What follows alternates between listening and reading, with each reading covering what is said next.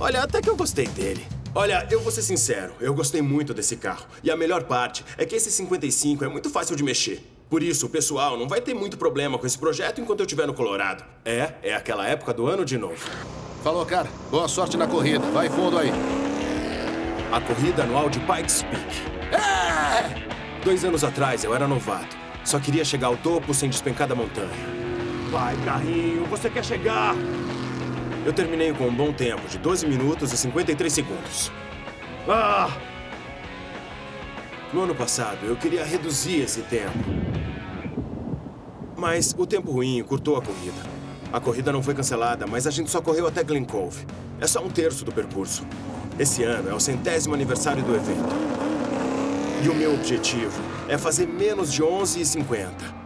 Eu vou partir com o Falcon amanhã à noite. E por isso eu quero deixar o pessoal com o melhor plano de ação possível para os dias que eu estiver fora. E aí, qual é o plano, Aaron? Tá pensando em quê? Olha, a questão é que. é que esse carro é muito legal, é um bom carro. Ele só precisa de amor, cara. Sabe, alguns carros que chegam aqui precisam ser desmontados. Mas outros carros, como esse aqui, só precisam de uma boa mudança na imagem. Então, para isso, a primeira coisa que a gente vai fazer é mudar a cor do chefe. Eu não sou fã desse amarelo, mas tem muito dele. Então a gente vai manter. Mas vamos deixar o carro mais malvado, trocando o branco pelo preto. Ele precisa de novas rodas e pneus, freios maiores, outra suspensão e um interior bem mais moderno. O motor funciona bem, mas está parecendo meio gasto. Por isso a gente vai tirar, pintar e deixar combinando com um novo visual.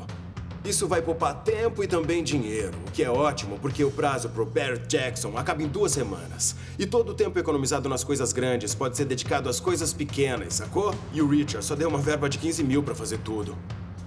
Eu acho um carro bacana. Ele é bem legal. Eu tô ansioso pra ver pronto. Bom, é. podem pôr o carro pra dentro e começar. A minha parte tá feita, eu já comprei. Tony, leva pra dentro, por favor. Tá, ainda bem que vai manter o amarelo. Ah, eu vou falar pra ele vender outra coisa e guardar isso pra gente.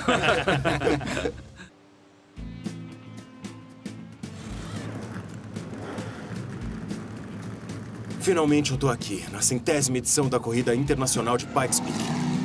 É meu terceiro ano aqui. Eu venho como espectador em 2013. Eu vi Sebastian Loeb quebrar o recorde. Eu corri em 14 e corri de novo em 15. Eu fiquei decepcionado. A gente não subiu tudo, mas não dá para controlar o tempo. Esse ano eu espero compensar. Parece que o tempo tá bom. Eu espero que fique assim. O grupo é um pouco menor. Esse ano, no centésimo aniversário, a gente tem o mesmo carro. O Falcon tá com os mesmos ajustes. E esse ano, se tudo der certo, eu quero baixar o meu tempo em 50 segundos ou mais. Ou quem sabe até em um minuto.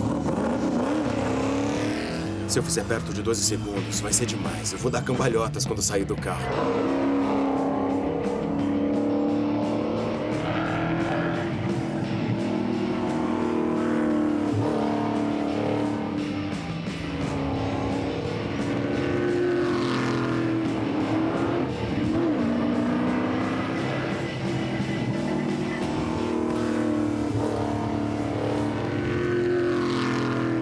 É, eu terminei com um tempo oficial de 12 e 15.